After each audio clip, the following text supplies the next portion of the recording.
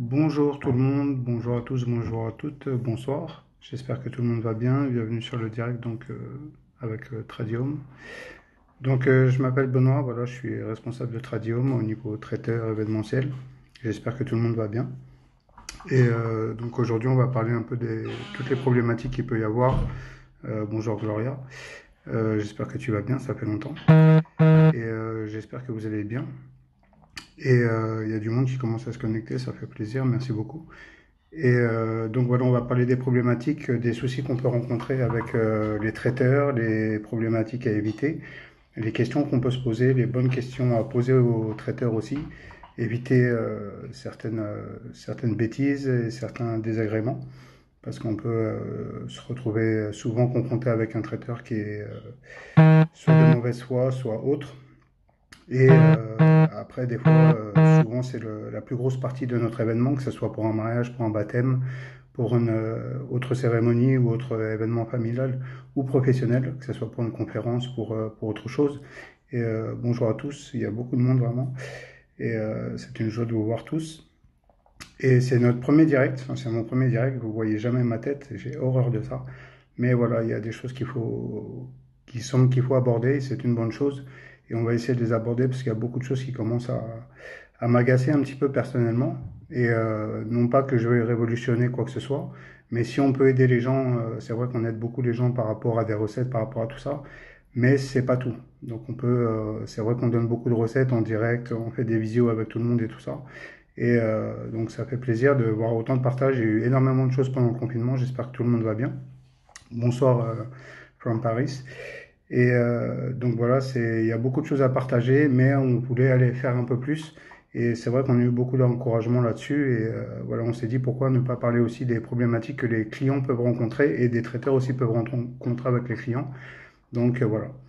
Donc pour commencer tout doucement, voilà, sur mon parcours, ça fait depuis 98 maintenant, donc ça fait 22, 97, même 23 ans maintenant que je suis dans la restauration. Et j'ai commencé à être traiteur depuis 2003. Donc euh, Tradium a été lancé en 2013, mais j'ai fait du traiteur. J'ai eu un, parcours assez atypique, euh, CAP, BEP cuisine, pâtisserie. Donc j'ai travaillé dans beaucoup de beaucoup d'établissements euh, gastronomiques, traditionnels ou autres, euh, brasserie, plein de choses. Pas la restauration rapide parce que j'ai pas le droit. malheureusement, j'aurais bien aimé travailler là-dedans pour apprendre et voir des choses aussi qui pourraient être très intéressantes, mais bon, c'est comme ça, donc il euh, n'y a pas de souci. Donc on est là pour vous partager notre expérience.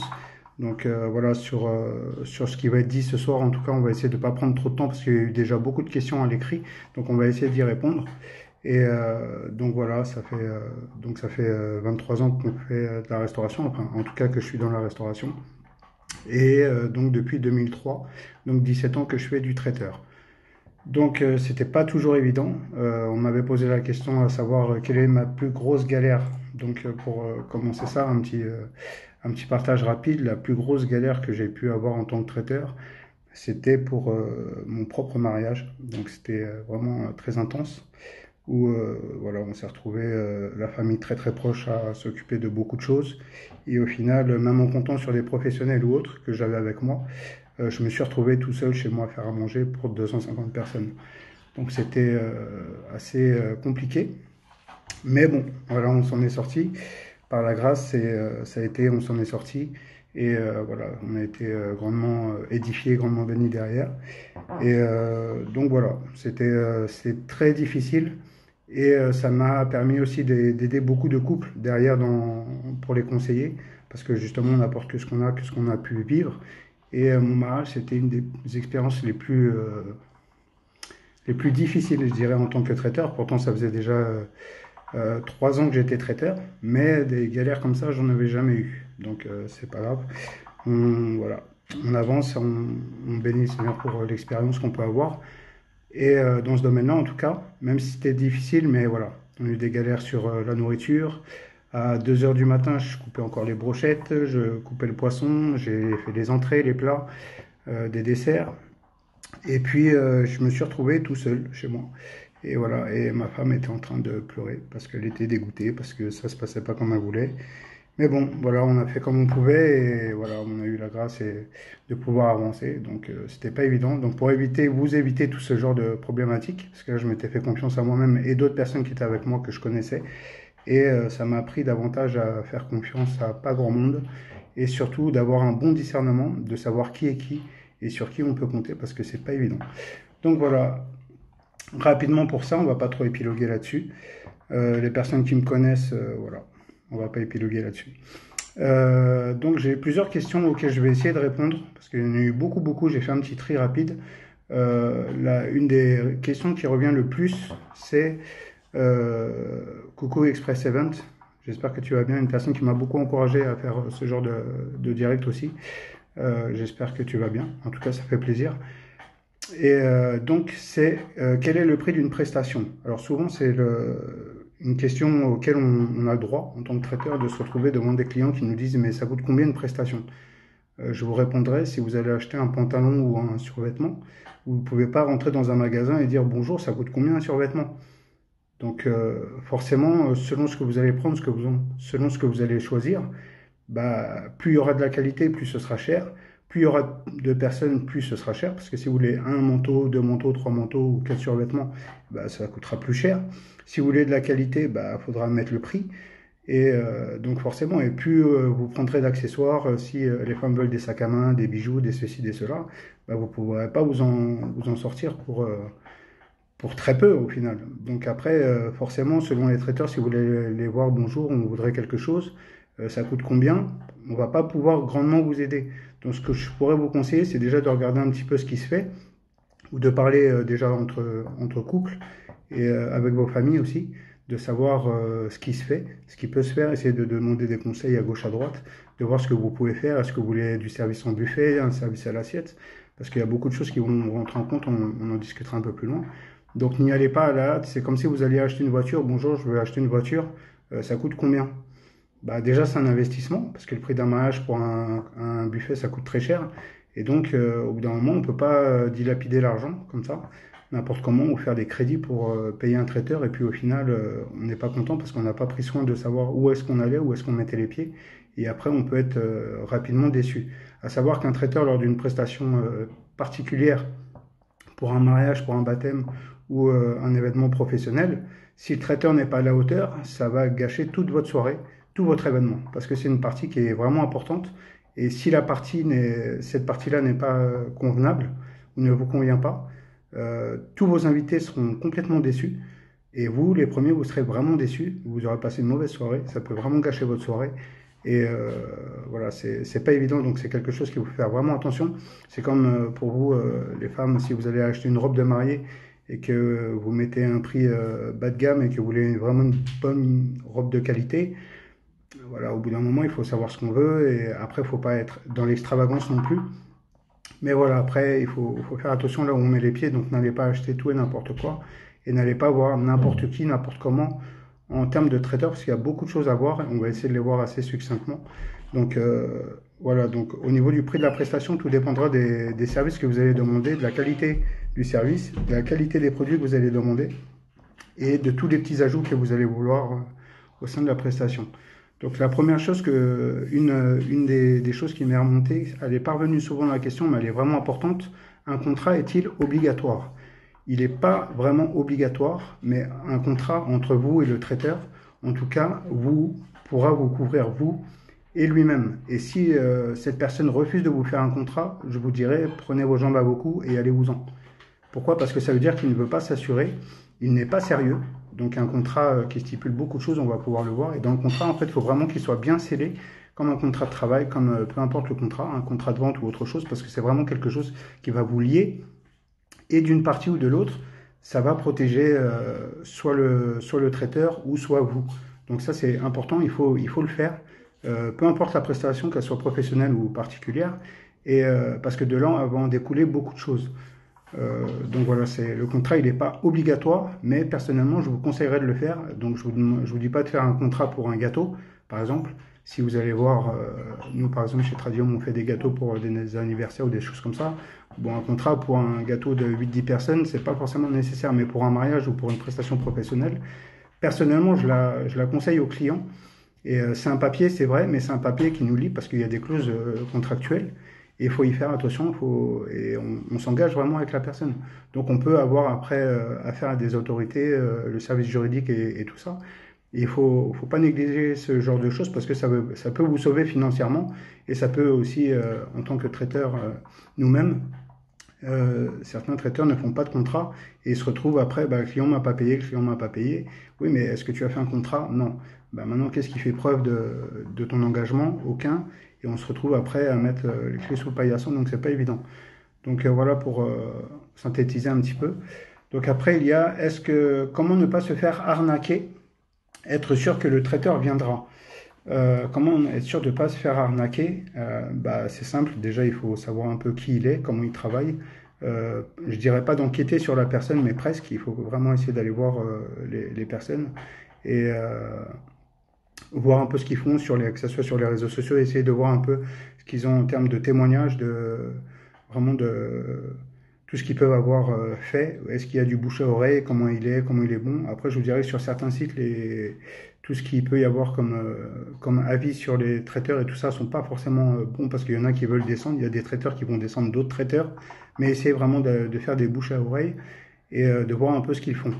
Rien ne vous empêche également de voir le sérieux si le traiteur a une boutique ou autre, d'aller de temps en temps à la boutique commander un petit truc insignifiant, même un petit gâteau ou un petit truc comme ça pour voir déjà si c'est bon. S'il est sérieux, est-ce qu'il est encadré? Est-ce qu'il y a beaucoup de choses comme ça? De vérifier sur le registre des commerces s'il est vraiment traiteur ou pas, ou est-ce que c'est euh, un escroc qui prend votre argent et puis qui s'en ira euh, une fois que les papiers seront signés. Donc tout ça, c'est, il y a plein de choses à voir, comme on a dit tout à l'heure. Quand on va chez quelqu'un pour acheter quelque chose euh, qui coûte un peu cher, là où on va mettre un peu d'argent, il faut vérifier là où est-ce qu'on met notre argent. Donc on peut pas aller chez n'importe qui et faire confiance à tout va parce qu'on se dit non mais la personne je la connais, c'est une personne sérieuse ok, la personne est sérieuse, mais si à ce moment-là, cette personne-là va se retrouver à avoir euh, des difficultés, eh ben, elle peut mettre la clé sous la porte et partir avec votre argent. Donc là, après, ça va être problématique. Donc, euh, le faire confiance, c'est une bonne chose, mais il faut vraiment vérifier aussi le, voilà, le, le, témoignage des gens, voir euh, comment ils sont avec euh, les personnes, est-ce qu'ils sont sérieux ou pas, est-ce que euh, des personnes qui sont dans votre entourage ou même sur les réseaux sociaux, avec Internet maintenant on a accès à tout, de voir est-ce que les personnes ont déjà travaillé avec telle ou telle personne? Et si tel ou tel traiteur ou autre prestataire est fiable. Et c'est important. Et c'est pour ça que personnellement je travaille pas beaucoup avec, je travaille pas avec beaucoup de prestataires parce que ça travaille beaucoup sur la confiance et euh, je sais que ce que j'ai acquis jusqu'à aujourd'hui, ça a été difficile. C'est difficile de le garder, c'est difficile d'avoir euh, cette euh, ce témoignage qui est correct, qui est euh, une personne sur qui on peut compter, qui est serviable, qui, qui, garde, qui garde ses engagements, qui honore ses engagements, et c'est important. Donc on ne peut pas se mettre avec n'importe qui, même si telle ou telle personne a des capacités, qui peut faire les choses et qui vous propose euh, à tout va, viens, on se met ensemble, on fait ceci, on fait cela. C'est pas forcément euh, parce que vous avez des, voilà, des compétences similaires ou qui peuvent s'accumuler qu'il faut forcément travailler ensemble. Parce qu'une personne que tu connais depuis 20 ans, et je vous parle par expérience aussi, euh, qui peuvent vous casser euh, du sucre sur le dos et puis vous, vous casser vraiment votre réputation. Euh, voilà, c'est le mot que je cherchais tout à l'heure, la, la, réputation. ils peuvent vous casser du jour au lendemain, comme ça on a un claquement de doigts, et pourtant dans la vie de tous les jours c'était très bien. Mais voilà, ça, et tout ça, c'est des choses que, que j'ai vécues personnellement. Et ça, ça fait mal. Ça fait mal et, et c'est vrai qu'on en prend un coup. Mais voilà, il faut, faut qu'on soit vigilant pour qu'on puisse euh, travailler correctement avec les, des gens sérieux. Et c'est pour ça qu'on me demande si je connais des traiteurs, si je connais des, des photographes, des vidéastes, des DJ, tout ça. Oui, j'en connais. Je peux en connaître beaucoup, mais de très sérieux, de très de sérieux et, et compétents, euh, là, ça commence à baisser un petit peu c'est surtout le, sérieux qui, qui fait, euh, qui, casse un peu souvent les, choses. Euh, donc voilà, il faut, faut, être, faut être attentif à tout ça. Donc euh, voilà pour, pour tout ça. Est-ce que comment se faire arnaquer ou être sûr que le traiteur viendra? Encore une fois, le contrat aussi va vous aider à pouvoir garder des clauses et si le traiteur ne vient pas, bah, c'est sûr que le jour J, ça va être, compliqué. Mais déjà, d'essayer de, voir un peu euh, plusieurs rendez-vous avec lui, que ce soit un, deux, trois rendez-vous, voir la ponctualité de la personne, voir la propreté, est-ce que vous pouvez voir les locaux, voir l'hygiène dans laquelle il travaille, voir les produits, lesquels, euh, produits il travaille, est-ce que vous aurez accès euh, aux besoins des, des, comment, des, des produits. Est-ce que vous, pourrez voir un petit peu comment les produits sont travaillés ou pas? Est-ce que vous aurez le droit à une dégustation? Si oui, dans quel état, dans quel lieu? Il y, a, beaucoup de choses qui, qui y sont. Et c'est comme ça qu'on peut voir si la personne est correcte ou pas. Parce qu'au bout d'un moment, si la personne est tout le temps à annuler, à repousser, à reporter, euh, constamment, constamment, au bout d'un mois, deux mois, bah, vous saurez si la personne est compétente ou pas. Parce qu'au bout d'un moment, on ne peut pas s'engager avec des personnes qui ne sont pas sérieuses sur euh, de simples rendez-vous. Et vous allez vous engager avec une personne qui est là pour une prestation qui est importante pour vous. Et euh, si la personne ne fait que de repousser, repousser, repousser, repousser, au bout d'un moment, c'est que la personne ne tient pas ses engagements. Donc, si des petits engagements n'arrivent pas à les tenir, à combien plus forte raison les grands, ça va être compliqué pour elle de, les tenir. Donc, voilà. Donc, euh, est-ce qu'on est obligé de tout prendre, euh, le vin d'honneur, le repas, le les boissons, pardon, les gâteaux, euh, tout ça chez le même traiteur Juridiquement parlant, non. Vous n'êtes pas obligé de prendre tout chez le même traiteur. Vous pouvez prendre le gâteau chez un boulanger, chez un pâtissier, pardon. Vous pouvez prendre comme vous voulez. Après, ce sera entre vous et le traiteur. Le traiteur, lui, peut être en droit de vous refuser. Euh, la prestation parce que vous ne prenez pas tout chez lui, ou il peut être en droit de vous refuser de servir les boissons parce que c'est pas lui qui, les ramène, ou de pas couper le gâteau parce que c'est pas lui qui l'a préparé, euh, parce que dessus il va couper euh, des gâteaux, il va mettre les personnes de son service à votre service, alors c'est quelque chose qu'il n'a pas préparé, ou sur quelque chose qu'il n'a pas gagné d'argent, ou en tout cas il va en perdre parce que les personnes, il faudra quand même les payer, et cet argent, lui, il ne vient pas dans son compte.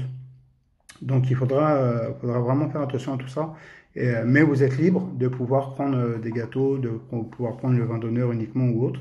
Après, c'est chacun, chacun selon vos choix. Et euh, de bien voir ça avec le traiteur et de bien le stipuler dans le contrat. C'est pour ça que dans le contrat, il faut vraiment que tout soit calé et le contrat est vraiment primordial, important, pour moi obligatoire en vue de, mes prestations traiteur et vous en tant que client pour vous protéger. Donc voilà, est-ce que les menus peuvent être adaptés euh, avec des, spécificités alimentaires? Euh, Normalement, ça c'est à vous d'essayer de voir avec euh, le traiteur quand vous allez le rencontrer. je dirais pas d'essayer de le piéger, mais essayer de détecter s'il est capable de s'adapter à vos goûts, vos envies. Est-ce qu'il arrive à, rebondir sur une, problématique? Est-ce qu'il met beaucoup de temps? Est-ce qu'il est très sceptique? Est-ce que vous avez l'impression de l'embêter plus qu'autre chose? Parce que le jour où il va être confronté euh, à, tout ça, la personne, euh, vous savez pas ce qui va vous servir au final. Parce qu'il va, s'il en a rien à faire devant vous, alors euh, dans votre dos, à combien plus forte raison il, va vous négliger, il va négliger votre prestation, il va négliger votre, vos spécificités alimentaires. Donc, si lui ne vient pas vers vous pour vous demander est-ce qu'il y a des allergies spécifiques, est-ce qu'il y a des véganes, des végétariens, est-ce qu'il y a des personnes qui mangent avec du porc, sans porc, euh, halal, euh, enfin halal, pas halal, cachère, pas cachère et, tout ce qui s'ensuit. Euh, après, on peut pas plaire à tout le monde, on peut pas faire un menu pour tout le monde, mais voilà, il faut quand même que le traiteur, s'il n'arrive pas à vous proposer tout ça spontanément, c'est que déjà c'est bizarre. Moi, personnellement, en tant que professionnel, je trouverais ça bizarre de trouver une personne, même pour un repas à domicile. Ma première question dessus, c'est quelles sont vos allergies? Qu'est-ce que vous aimez? Qu'est-ce que vous aimez pas? Parce qu'on ne se connaît pas. Et euh, de là, est-ce qu'on peut partir? Après, avec un feeling, on peut proposer beaucoup de choses. Et en général, ça se passe très bien. Et selon l'expérience qu'on peut avoir aussi. Donc euh, tout ça, il faut, euh, être capable de, de pouvoir l'assimiler et essayer de voir un peu si votre traiteur pourra rebondir sur les problématiques que vous pouvez lui, lui soumettre. Après, il ne faut pas être trop dur non plus, parce que de notre côté, en tant que traiteur, on a aussi des, difficultés qu'on rencontre, qu'on, que vous ne connaissez pas forcément, mais c'est pas évident. Donc voilà. Euh, après, est-ce que s'il y a des invités de dernière minute, comment le prévoir? Ça aussi, dans le contrat, essayez de, de voir dans votre contrat euh, si vous pouvez, euh, si cela peut être notifié ou euh, dans le devis, en tout cas qu'il y ait des personnes. Euh, donc si c'est en buffet, c'est un peu plus facile ou pas parce que les gens peuvent se servir beaucoup plus et chaque traiteur fonctionne différemment. Mais là encore, à vous et le traiteur de vous mettre d'accord, de savoir ce qui, ce qui est fait, ce qui se dit et comment on s'organise pour euh, vraiment comprendre parce que la personne peut vous dire bah, vous avez prévu pour 100, vous êtes 105, les 5 ne sont pas prévus donc je n'ai plus rien à vous donner et si ça n'a pas été prévu en amont, bah, le traiteur est dans son droit puisque vous avez payé pour 100 personnes. Donc il est dans son droit et vous pouvez euh, crier, euh, dire tout ce que vous voulez. Bah, vous irez au McDo d'à côté et vous irez prendre des Happy Meal et, des McFirst, mais ou autre autre menu ou euh, des boîtes à partager ou ce que vous voulez. Mais c'est vous qui allez vous retrouver dans la problématique et, ça va engendrer un conflit avec le traiteur. Donc c'est des choses qu'il faut essayer de prévoir. Pour ma part, j'essaie toujours de prévoir 5, 6, voire 10 personnes de plus pour qu'il y ait toujours quelque chose. Mais il faut savoir que c'est 10 portions de plus euh, si le menu est à 30 euros, ben, le client, euh, le traiteur, lui, peut perdre 300 euros. Donc, il faut se mettre aussi à la place du traiteur qui, lui, ne veut pas, euh, voilà, qui, il veut pas aussi faire pour 10-15 personnes de plus. Vous, pouvez vous dire que c'est pas beaucoup, mais du 10-15 personnes de plus fois un menu, admettons, en moyenne à 30 euros, bah, c'est cet argent-là que lui ne va pas gagner et sur cette, cette nourriture-là sur laquelle il va s'asseoir parce que lui, par contre, il aura dépensé pour l'acheter. Donc tout ça, il faut y penser et c'est des choses qu'il faut mettre au clair dès le départ, quitte à ce que ça soit stipulé dans votre contrat. Voilà. Euh, j'espère que tout ça, c'est assez rapide. J'essaie d'aller assez vite, d'être assez concis. C'est pas évident. Et euh, mais bon, voilà, on essaie de faire au mieux. C'est notre premier direct, ne nous en voulez pas. Et euh, donc voilà, je suis moins speed quand je suis avec mes clients, mais je veux pas faire un direct trop trop long, quitte à ce qu'on en repasse un plus tard. Il n'y a, pas de problématique là-dessus. Merci beaucoup. Et euh, donc voilà, est-ce que la dégustation euh, est-elle obligatoire et payante? Alors la dégustation, c'est un gros sujet euh, où personnellement je la propose pas spontanément selon la prestation. Et merci Franck Paris et pour tes, pour tes notifications, c'est cool. Et est-ce qu'elle est obligatoire et payante? Obligatoire non, payante oui. Pourquoi? Parce que le traiteur, euh, lui, débourse de l'argent, il prend du temps, il fait les courses, il prend un temps de préparation, donc il y a un temps de travail. Et euh, c'est comme si vous alliez acheter, euh, je sais pas, vous allez acheter du pain et vous lui dites, bah, pour goûter votre baguette, je vais la goûter et puis si c'est bon, je vais vous en prendre. Non, vous pouvez pas réagir comme ça parce que la personne elle a des charges aussi, elle a des choses à payer. Par contre, ce qui est possible de faire, c'est que euh, lors du devis, la prestation, et on va le voir tout à l'heure, je, vais vous, le notifier, je vais vous montrer un petit peu comment comprendre un petit peu les, devis aussi, c'est euh, ça doit être stipulé dans le devis, c'est-à-dire que la, dégustation sera payante, mais par contre, ce que je fais personnellement, c'est que si le contrat est validé, la, dégustation, je vous l'offre. Après, tous les traiteurs ne fonctionnent pas comme ça et c'est pas une obligation de leur part. Donc ils peuvent vous la facturer. Et moi, par contre, c'est bien spécifié que si la prestation est signée, elle sera offerte. Et si elle n'est pas offerte, elle sera payée. D'accord? Elle devra être payante. Elle sera payante et aura donc euh, office avec une facture. Donc ça, c'est une, euh, juridiquement parlant, vous pouvez rien faire. On est entièrement dans nos droits, mais il faut le savoir. Et éviter les dégustations à 5, 6, 7, 8, 10 c'est complètement inutile. Plus vous aurez d'avis, et moins ce sera euh, constructif.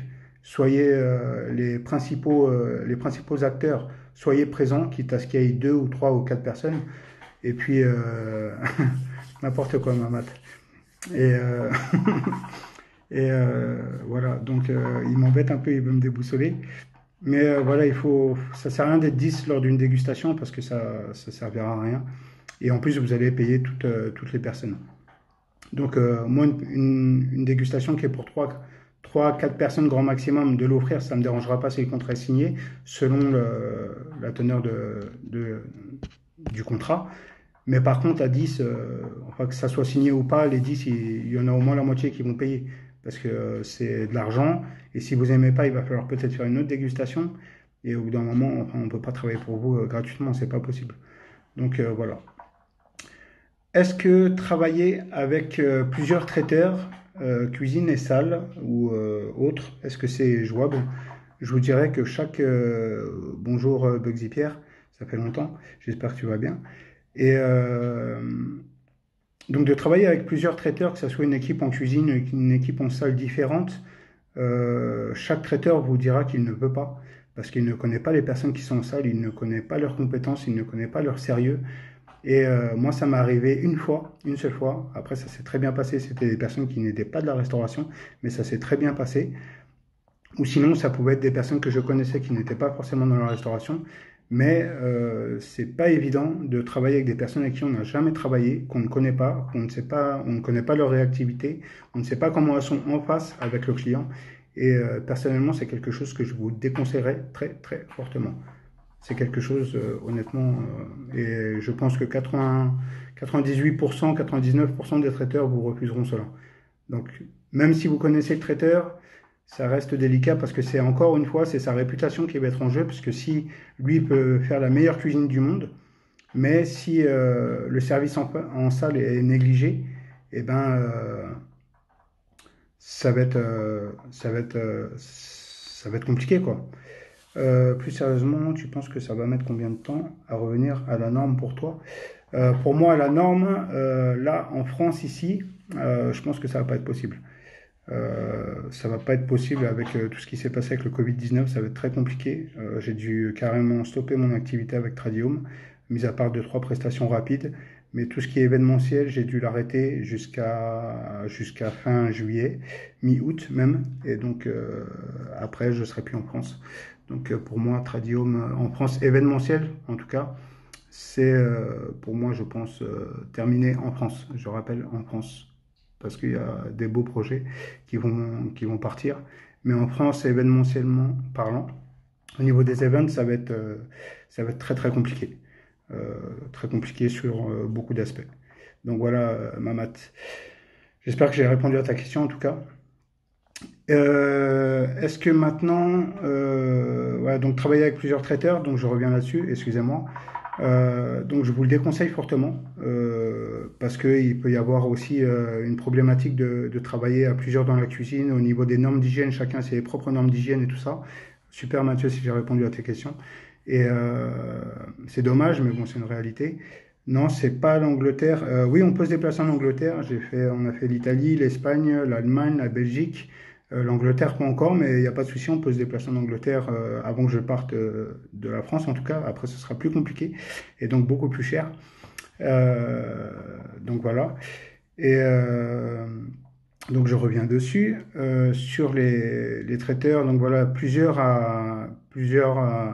oui, Jasmine, d'abord chez toi en Angleterre, il n'y a pas de souci. Coucou Émilie, j'espère que tu vas bien, ça fait plaisir. Et euh, donc plusieurs traiteurs euh, dans la cuisine, donc aux normes d'hygiène de sécurité, euh, je vous le déconseille fortement. Parce que en général un traiteur quand il vient, il prend la place. Et euh, personnellement, même si je peux travailler euh, avec euh, des familles qui peuvent ramener aussi de la nourriture, ça c'est possible, à avoir encore avec votre traiteur et le stipuler encore dans votre contrat, qui est, comme on l'a dit au début, d'avoir un contrat avec votre traiteur, c'est primordial, où tout doit être stipulé, même s'il fait 5 pages, 6 pages, 7 pages, c'est pas grave, au moins tout est stipulé, tout est ficelé, et il n'y aura pas d'ambiguïté ni, de problématique derrière.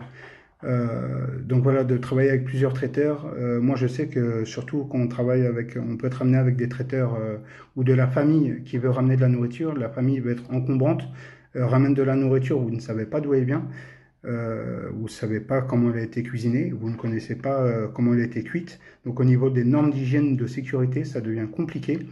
Et je sais que pour souvent, surtout dans le domaine des Africains, excusez-moi, je ne suis pas raciste, très très loin de là, je vous assure, mais euh, souvent les personnes veulent prendre possession de la cuisine et je le dis d'emblée dès le départ, si vous travaillez avec moi, vous voulez ramener la nourriture chaude, ça ne me pose pas de problème. Encore une fois, c'est moi qui validerai si on envoie ou pas. Et je vous ferai un petit, euh, un petit, un petit témoignage tout à l'heure. Et euh, c'est moi qui prendrai cette décision-là. Et par contre, euh, personne ne reste dans la cuisine. Et c'est pas tout le monde qui rentre. Pourquoi? Parce que les gens viennent de dehors, on ne sait pas d'où ils viennent, on ne sait pas de comment ils viennent, on ne connaît pas l'origine de vie et on sert à manger aux personnes. Ça veut dire que si toute contamination qu'il peut y avoir avec les produits, eh ben, c'est vous qui allez les ingurgiter et si vous tombez malade, eh ben, c'est nous, en tant que traiteurs, qui allons porter le chapeau, qui iront en prison.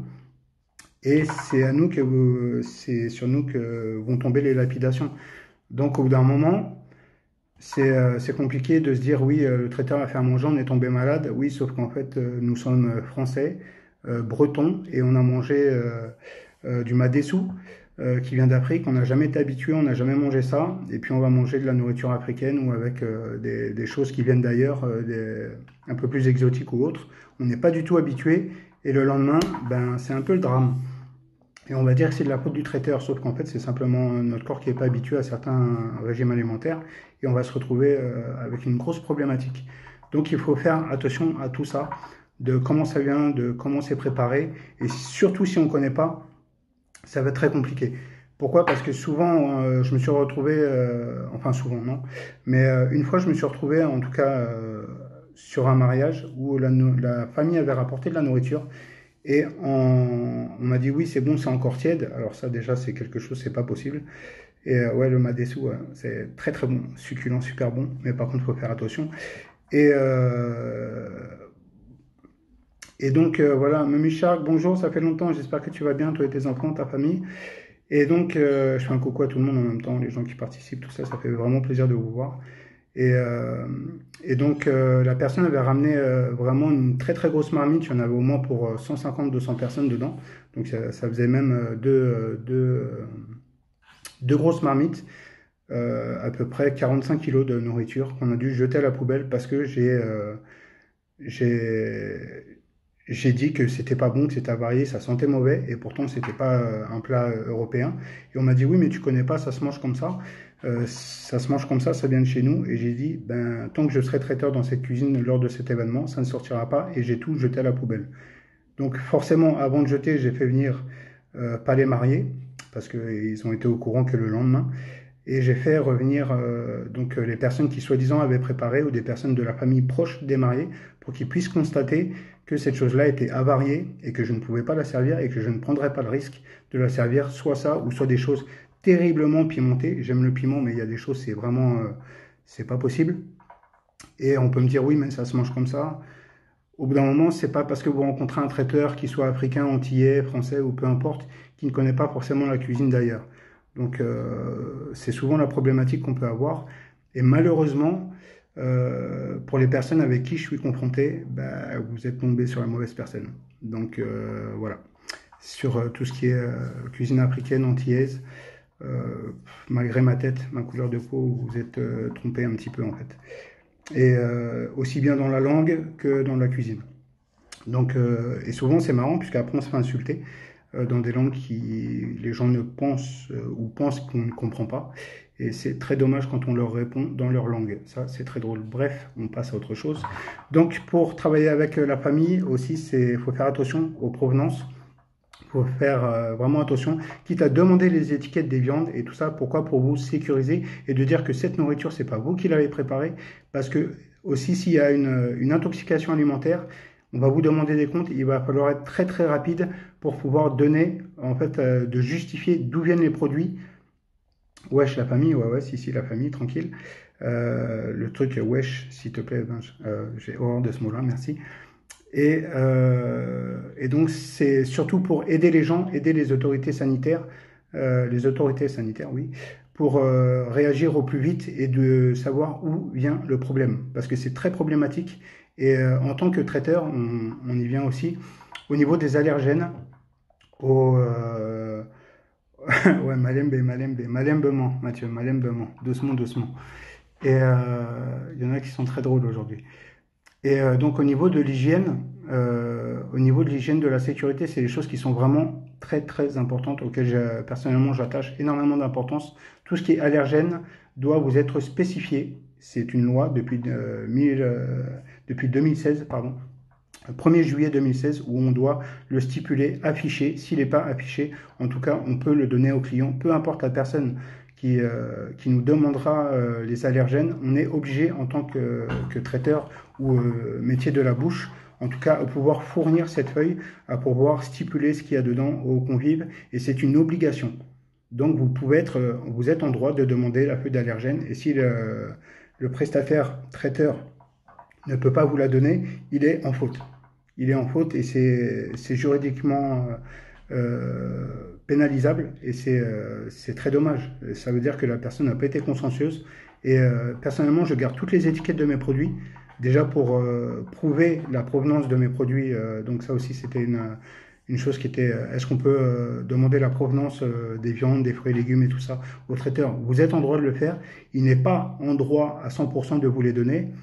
Mais encore une fois, j'estime qu'en tant que client, euh, surtout sur une prestation traiteur, je ne vous parle pas du restaurant, mais vous êtes en droit de vous demander, euh, par exemple, vous allez dans un restaurant, de la viande rouge, la viande de bœuf, c'est une obligation d'afficher euh, où est-ce qu'elle est la provenance, l'abattage et l'élevage. C'est des choses qui sont obligatoires dans les normes de, de sécurité, d'hygiène et des normes alimentaires. Donc c'est donc tout ça, c'est des obligations que les traiteurs doivent vous donner, euh, doivent vous fournir. Donc personnellement, j'en envoie toujours une copie à un client. Euh, et je l'affiche aussi, ou si j'oublie, parce que ça peut m'arriver aussi d'oublier, mais de l'emmener sur place, sur papier, au moins deux ou trois, et quitte à l'afficher, les, les, gens peuvent poser des questions, tout ça, et on doit être en droit de leur répondre, puisque normalement, euh, c'est nous qui avons préparé les choses. Donc là aussi, c'est quelque chose euh, que vous pouvez euh, demander à votre traiteur parce que c'est une obligation et on ne peut pas se cacher derrière ça. Donc, donc voilà, c'est des, des, règles d'hygiène sanitaire, tout ça qui sont obligatoires. Et donc voilà. Une autre question, le mieux buffet ou assiette, ça ce sera selon le nombre d'invités que vous avez et surtout pour le coût aussi, parce qu'à savoir qu'en buffet et à l'assiette, vous n'aurez pas le même nombre de serveurs vous n'aurez pas... Euh, et tout ça, c'est un coût. Donc euh, si vous prenez euh, de vous passer de 4-5 serveurs en buffet à une quinzaine de serveurs à l'assiette, ou une dizaine en tout cas le double, il faut prévoir au moins le double de personnes à l'assiette, bah, vous aurez le double de personnes à payer. En tout cas, soit à payer en direct, ça c'est à vous de, le voir avec le traiteur, ou soit de, si vous le facturez, ce sera facturé, forcément bah, ça va faire grimper la note. Donc tout ça, c'est des choses auxquelles il faut penser. Voilà, après c'est un libre choix, il n'y a pas de, de mieux, de, de, bien ou pas bien, il n'y a pas de, c'est vraiment un libre choix et selon la configuration de la salle, selon la configuration de la cuisine, parce que si vous faites du buffet ou euh, à l'assiette, est-ce que la cuisine est suffisamment grande et équipée pour envoyer un nombre à l'assiette Tout ça, il faut y penser, donc il faut vraiment faire l'état des lieux avec le traiteur, voir euh, les capacités, ce qu'on a besoin comme matériel et autres, parce que tout ça, ça peut vous être facturé. Et encore tout ça, ça demande beaucoup, beaucoup, beaucoup d'argent. Les commandes de gâteaux continuent malgré la cessation de ton activité. Oui, Tradio n'est pas encore fermé, donc les gâteaux vont reprendre d'ici euh, début juin, euh, parce qu'il y a beaucoup de choses encore à, remettre en place. Mais euh, oui, oui, les gâteaux, il n'y a pas de souci. Il n'y a pas de problème, on peut, on peut les reprendre. Il n'y a pas de souci pour ça, mais c'est vraiment tout ce qui est événementiel, mariage, tout ça. Et donc voilà. Voilà pour, euh, pour ces petites questions. Après, il y a est-ce que les, serveurs, qui doit les payer? Bah, Encore une fois, c'est des choses que vous devez, euh, que vous devez voir euh, avec le traiteur. Qui paye les serveurs? Est-ce que c'est lui? Est-ce que c'est vous? Si c'est vous, bah, soit vous allez devoir les déclarer forcément. Donc euh, vous allez devoir faire les, procédures de déclaration. Ah. Euh, ou après vous faites comme vous voulez, vous êtes libre. Moi je vous conseillerais de les déclarer. En tant que tradium, je conseille fortement de déclarer les gens. Après vous êtes libre. Si vous voulez travailler euh, au black ou comme vous voulez, vous faites ce que vous voulez, vous êtes libre. Mais personnellement, je prends mon engagement de déclarer les personnes avec qui je travaille. parce que pour leur sécurité et pour la vôtre. Et donc voilà, c'est toujours mieux de le faire, même si c'est pas évident financièrement.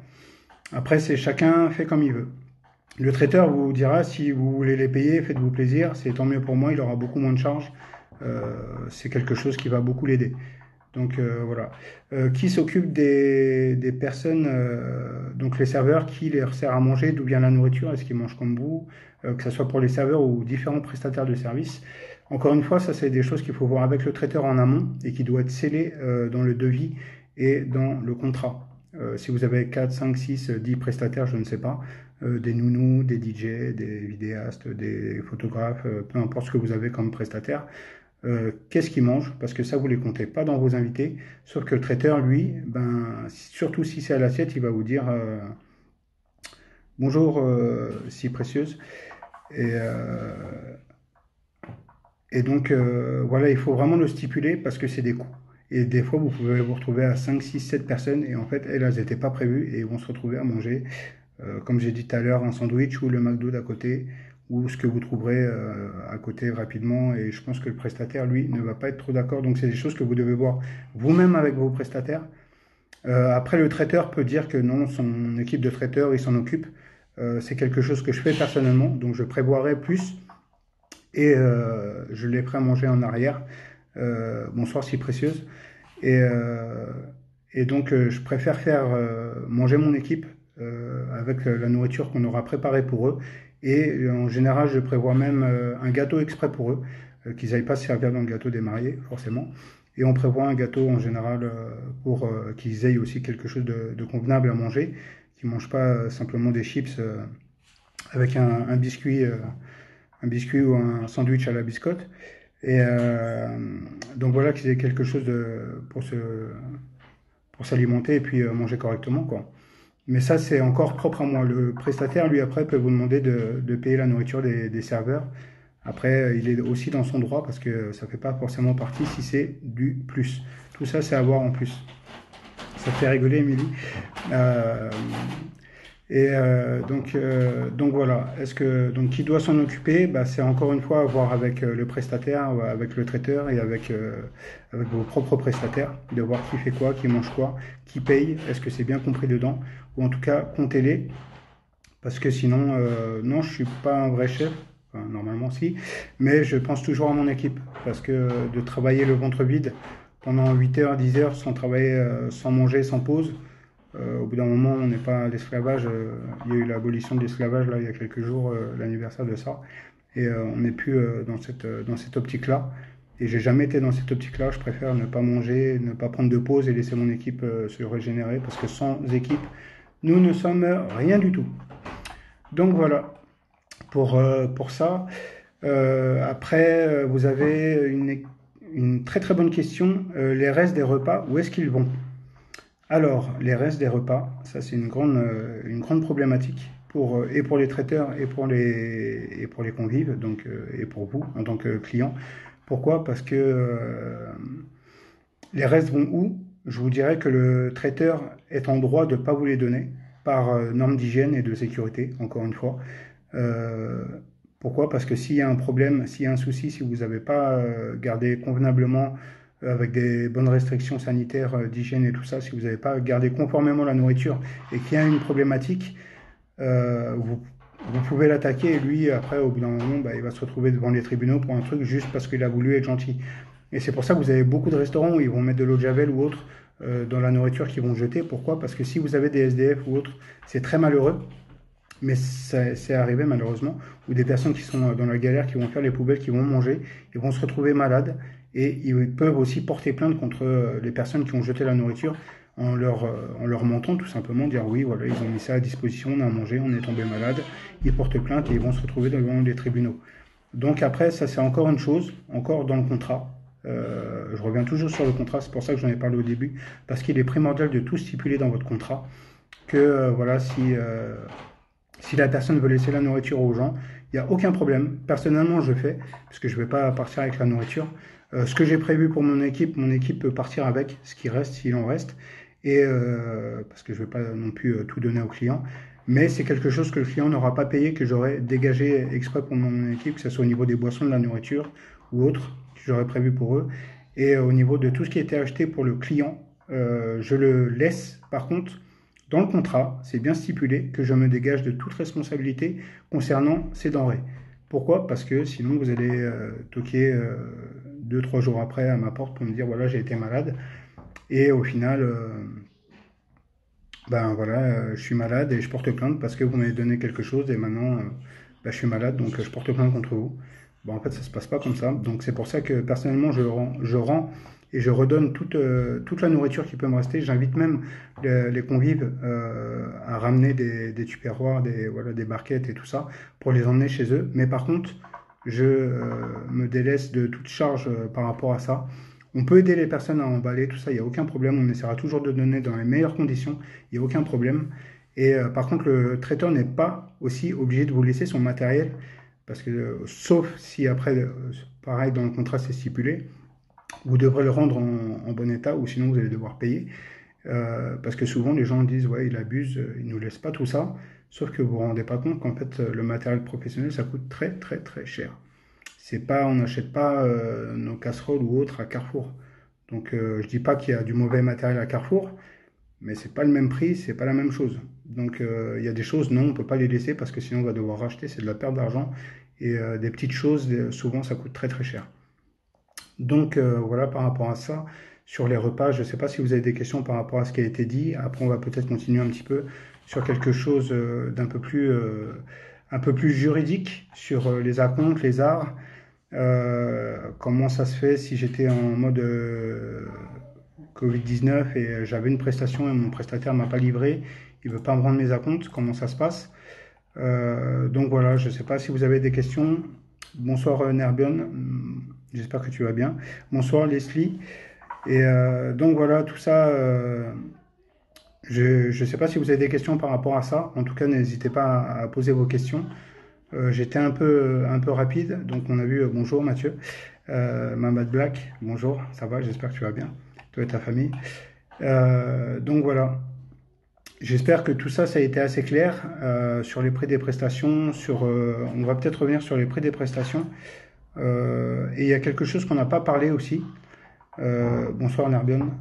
quels sont les futurs projets hors France Les futurs projets hors France de Tradium, ce sera en Afrique en Afrique centrale, euh, République centrafricaine à Bangui, donc d'ouvrir euh, une partie traiteur, un restaurant et un truc euh, beaucoup plus gros. voilà. Sur l'autre projet, on va. Mais Angel, bonsoir. Et on va rester un peu voilà, sur, nos, sur nos trucs, parce que c'est un très gros projet, on n'a pas envie de, que ça tombe à l'eau, que ça se fasse pas. Mais en tout cas, il y aura de la formation, beaucoup de formation. Et euh, ça bouillonne, on a vraiment envie de le faire. Et, euh, et donc on verra bien euh, comment ça se passe. Mais en tout cas, voilà, d'ouvrir quelque chose, de former les gens là-bas et euh, d'apporter ce qu'on a, ce qu'on a nous, ce qu'on a pu apprendre, ce qu'on a pu acquérir en France en tout cas, et, euh, et dans plusieurs pays, puisque j'ai pu travailler avec beaucoup de chefs étrangers, euh, que ce soit asiatiques, italiens, espagnols, canadiens, japonais, voilà, enfin japonais, indiens aussi, voilà. Donc euh, ça fait partie des, de la chance que j'ai pu avoir euh, lors de ces 23 ans en tout cas d'expérience. Maintenant c'est aussi à moi de pouvoir former les gens. C'est quelque chose que j'apprécie particulièrement de former les gens, de donner des conseils, de pouvoir donner tout ce que je peux sans rien cacher. Après mes recettes, euh, il y en a que je donne entièrement, d'autres non, comme tous les chefs de cuisine. Il y en a qui ont toutes les recettes sans rien cacher, mais elles sont très très très très peu et voilà. Bref. Euh, c'est très très rare même. Trop, euh, ouais, c'est quasiment euh, pas. En fait, quasiment j'ai dit, parce que je suis pas un menteur. Et ouais, merci beaucoup moi aussi. Et Nerbion, c'est quelqu'un qui m'a beaucoup, beaucoup aidé à mes débuts et même maintenant sur tout ce qui est côté infographique et tout ça. C'est vraiment, vraiment beaucoup. Merci beaucoup. En France, c'était pas possible de faire ça. en France, les formations euh, et, tout ça, Mathieu, la problématique que j'ai rencontrée, c'est déjà uniquement déjà dans ma ville, à Évry, euh, d'aller voir la mairie et de leur dire voilà, j'aimerais ouvrir, euh, ouvrir quelque chose et de faire aussi des formations et tout ça aux gens qui en ont besoin, tout ça. On m'a littéralement fait comprendre, on m'a dit littéralement, ma femme a été en entretien avec, avec des personnes compétentes de la mairie et tout ça. On lui a dit, bah écoutez, pour commencer, faites les marchés. en fait, je suis pas là pour vendre une boisson sur un marché. Je crois qu'on n'a pas compris. Et après, on m'a bien fait comprendre que oui, il y a déjà beaucoup d'écoles et que mon nom n'est pas suffisamment grand, je suis pas assez reconnu et euh, tout ça. Donc j'avais j'avais déposé aussi, j'avais fait un, concours pour être prof de cuisine, euh, concours que j'avais réussi. On m'a dit de, de commencer en septembre et j'étais, ça remonte déjà à 5-6 ans et j'ai refusé parce que j'étais pas prêt. Je, je pensais que c'était un, concours auquel on avait le droit et puis euh, après de garder cette, cet acquis pour plus tard. Et euh, en fait, on nous met énormément de contraintes. Donc, je ne dis pas que c'est pas possible. Donc, les personnes qui veulent le faire, je vous encourage fortement. Mais il y a trop de choses qui m'ont qui m'ont déçu euh, à ce niveau-là en France, et que ça soit à Évry ou d'autres villes. Hein, il y a des. Pour vous dire, j'ai travaillé avec, euh, je crois que j'ai travaillé avec 14 mairies en tout. Et une des mairies avec lesquelles j'ai pas travaillé, c'est la mairie de ma ville. Et ça fait 20 ans que j'habite Évry. ça fait même 30 ans, pardon, que j'habite Évry. Et enfin, c'est dommage en fait. Mais on a voulu apporter des choses, on nous a fermé la porte. Après, on se prend pas la tête et on va apporter ce qu'on veut faire autre part à des gens qui ont besoin. Parce que c'est vrai qu'en France, on est tellement gavé avec les, séries télévisées, avec euh, tout ça. Et euh, donc, on est peut-être trop gavé. Et euh, voilà, je vais faire autre chose autre part. Et la France, de toute façon, ça fait un moment que ça commence à, me fatiguer un petit peu, je dirais. Donc, on m'a proposé l'Allemagne, beaucoup l'Allemagne, la Belgique aussi. Euh, des contrats en Belgique et tout ça, mais c'est pas des choses, euh, c'est pas des choses que je veux faire euh, actuellement. J'ai pas ça encore dans la tête. Peut-être que ça viendra après, mais en tout cas, c'est, j'ai choisi de faire une émission TV, car c'était pas la gloire, mais tout de même être la lumière sur tes talents. Euh, ouais, ça m'a ouvert des choses sur Evry. Après, encore une fois, c'est pas forcément Evry, c'est que euh, déjà le talent est mettre ma tête, comme euh, vous pouvez le voir sur les photos, euh, j'ai quasiment 900 photos sur Instagram et, autres. Et mettre ma tête, j'ai horreur de ça. Donc là, déjà de mettre ma tête, ça fait 50 minutes que je suis en direct. De mettre ma tête devant vous pendant tout ce temps, déjà, ça me, ça me stresse énormément. J'ai horreur de ça. Mais c'est une bonne chose aussi, il faut, voilà, faut le faire. Mais les émissions télé, tout ça, ça m'a jamais, ça m'a jamais intéressé parce qu'il y a beaucoup de faux. Il y a des gens qui sont très doués, par contre, il y a des gens qui sont vraiment très doués. Et euh, j'ai pu euh, participer à des émissions comme ça dans les coulisses où ces émissions-là m'ont un peu fatigué. Parce que tout ce qu'on vous présente, c'est correctement, c'est pas la réalité des choses.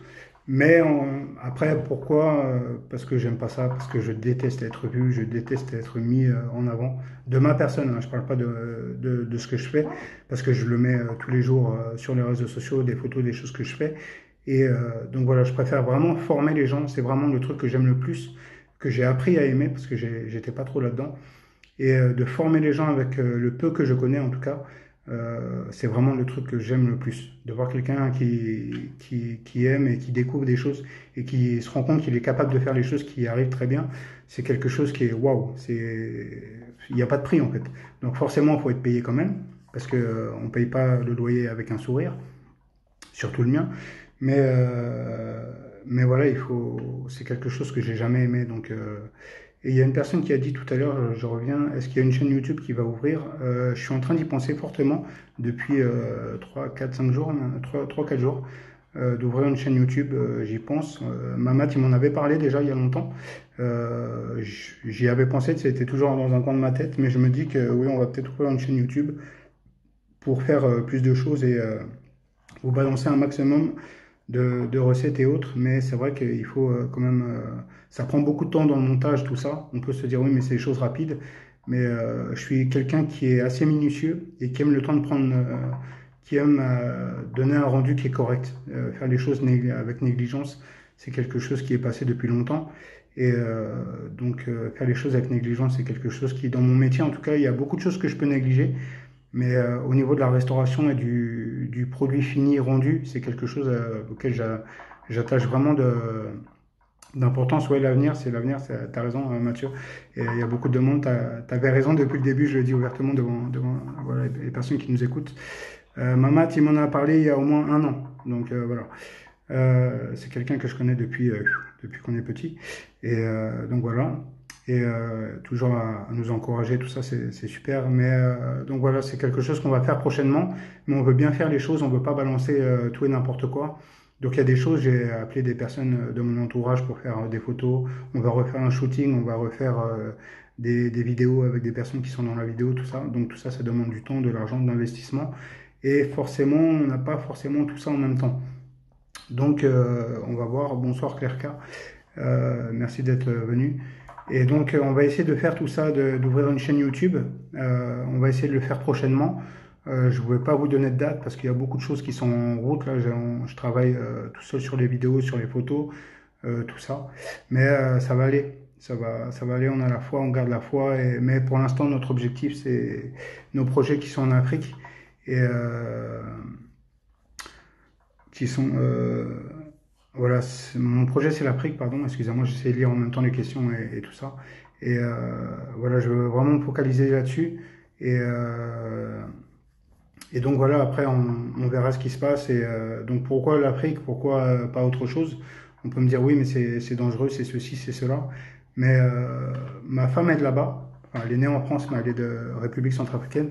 Et euh, pour l'instant, j'ai jamais été là-bas mais j'ai vraiment hâte d'y aller et vraiment hâte de construire quelque chose et d'apprendre des, choses à des gens qui en ont besoin. Euh, parce qu'ici, en fait, vous et moi, on néglige tellement les, dons et les, talents de chacun. Euh, c'est dommage. Et en France, en fait, malheureusement, on s'est refermé et on ne veut plus apprendre euh, aux gens comme ça. C'est plus. Oui, oui, elle va, ma chaîne marchera aussi en Afrique, donc euh, t'inquiète pas, la chaîne YouTube, j'ai compris, on va la faire, promis, on va la faire, promis. euh, ça devient un gros sujet, la chaîne YouTube, donc, euh, voilà, ça on va la faire, il n'y a pas de souci. Et donc voilà, ma priorité, c'est vraiment le, les projets qui sont en Afrique, parce que c'est des, il y a deux très, très, très gros projets qui sont là-bas, il y a beaucoup de choses à faire. Et on va donner le max, on va donner le max, le max, le max pendant qu'on a encore la force, pendant que, pendant que Dieu nous donne la force et ça va aller parce que c'est pas à 60 ans qu'on va faire les choses. Et donc on va, on va faire les choses calmement, mais, mais voilà, ça va aller. On n'a pas peur de ça. Après les réseaux sociaux, ça marchera partout. Et c'est vrai que YouTube, c'est l'avenir, on le voit, euh, on le voit partout.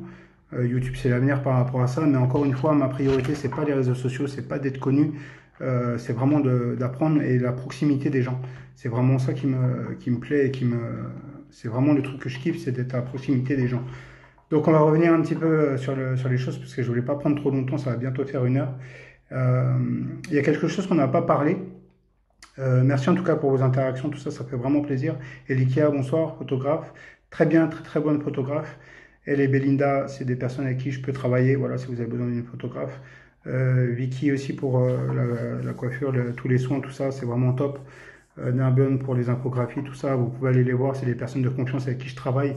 Et c'est vraiment des personnes qui maîtrisent leur truc, qui sont très sérieux dans leur projet.